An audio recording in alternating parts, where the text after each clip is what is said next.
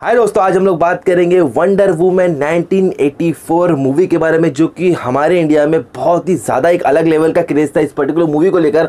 और दो दिन हो चुके ऑलरेडी रिलीज़ होके, और बहुत सारे लोगों ने इस मूवी को चेकआउट भी कर लिया है। लेकिन मैंने कल रात को इस मूवी को देखा तो आज मैं इसका रिव्यू कर रहा हूँ। आई होप ये वीडियो आपको ज़रूर पसंद आएगा।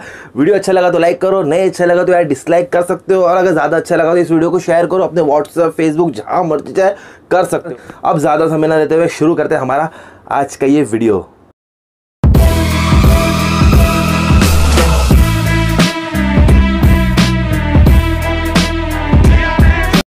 बात करेंगे इस पर्टिकुलर मूवी की तो देखिए एग्जैक्ट ये वंडर वुमन पार्ट वन के बाद की कहानी, यानी कि अब उस इवेंट को काफ़ी साल हो चुके हैं, अब दुनिया काफ़ी हद तक बदल चुकी है। लेकिन इस मूवी में हमें इस बार नज़र आता है एक ऐसा स्टोन को छूते ही आप कुछ भी विश मांगोगे तो वो विश पूरी हो जाती है। अब उस स्टोन का यूज़ कौन करता है फिर उनके साथ क्या कुछ होता है, ये सब कुछ जानने के लिए आपको देखनी पड़ेगी ये मूवी क्या बात करेंगे इस मूवी के कॉन्सेप्ट की, जो कि एक्सेलेंट बोलूँगा एक्सेलेंट इसलिए क्योंकि कहानी बहुत सिंपल है। लेकिन उसको इतनी बढ़िया तरीके से एग्जीक्यूट किया है ना कि फ़र्स्ट आप उन्होंने सिचुएशंस को क्रिएट किया है। लेकिन उन सिचुएशन को भी इतनी अच्छी तरह सीखे कि आप एक सेकंड के लिए भी बोर नहीं होता। हालाँकि मैं इस मूवी से यही सारी चीज़ें एक्सपेक्ट की थी जो मुझे वहाँ पर देखने को मिली। लेकिन अगर आप लोग बहुत ज़्यादा एक्सपेक्टेशन से जाओगे तो शायद आपको थोड़ी बहुत डिसअपॉइंटमेंट होगी।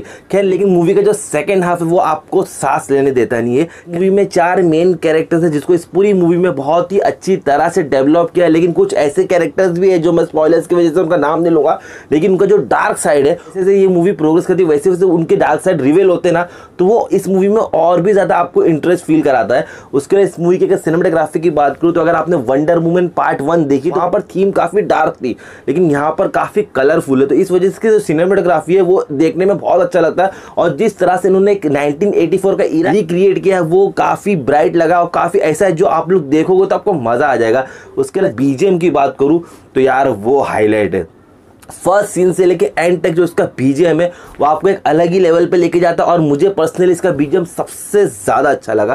खैर, अगर एक्टर्स के परफॉर्मेंस की बात करें तो यार गैल गैरेट सबकी फेवरेट है और क्रिस पाइन भी बहुत सारे लोगों को पसंद आते हैं। लेकिन इस मूवी में मुझे क्रिस्टन वीक और पेड्रो पास्कल इन दोनों का परफॉर्मेंस एक अलग ही लेवल का लगा स्पेशली पेड्रो पास्कल जिसने यहाँ पर मैक्सवेल लॉर्ड का रोल प्ले किया। यार सेकेंड हाफ़ तो मैं बोलूँगा पूरा का पूरा उन्हीं पर डेडिकेटेड है। और यार, उन्होंने तो मचा के रख दिया। और जिस तरह से एक पागलपन की एक मतलब एक अजीब सी परफॉर्मेंस होती है ना वो यार मतलब उनसे बेहतर मुझे नहीं लगता कि इस पर्टिकुलर मूवी में कोई और एक्टर कर पाता था। अब बात करें इस मूवी की कुछ नेगेटिव पॉइंट्स की, जो कि मुझे पर्सनली फील हुई। पहले इसकी स्टोरी है। स्टोरी में इतना कुछ खास दम लगा नहीं। हालाँकि मुझे पार्ट वन की स्टोरी ज़्यादा अच्छी लगी थी, लेकिन इसमें स्टोरी के मामले में थोड़ी ये मूवी फीकी पड़ गई।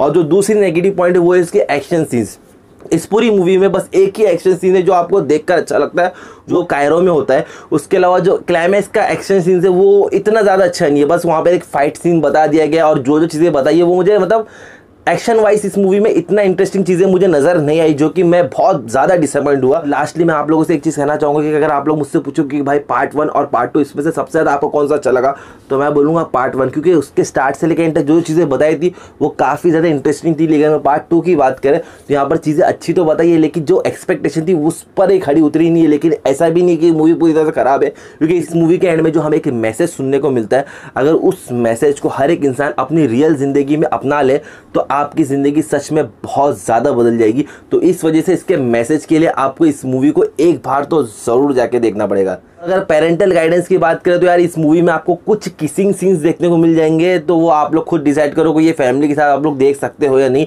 मैं इस मूवी को रेटिंग दूँगा 7.5 आउट ऑफ़ 10 मैंने इस मूवी को हिंदी डब वर्जन में देखा और इसकी डबिंग मुझे पर्सनली अच्छी लगी। तो यार बस इस वीडियो में इतना वीडियो अच्छा लगे तो लाइक करो नहीं अच्छा लगे तो यार डिसलाइक का ट्रेंड चल रहा है, बिंदास डिसलाइक कर सकते हो और कमेंट करना मत भूला करो यार, क्योंकि कमेंट करते हो तो मुझे बहुत अच्छा लगता है और वीडियो को लाइक करते हो तो यार मुझे मोटिवेशन मिलता है। मिलते हैं नेक्स्ट वीडियो में दुआ में याद रखना।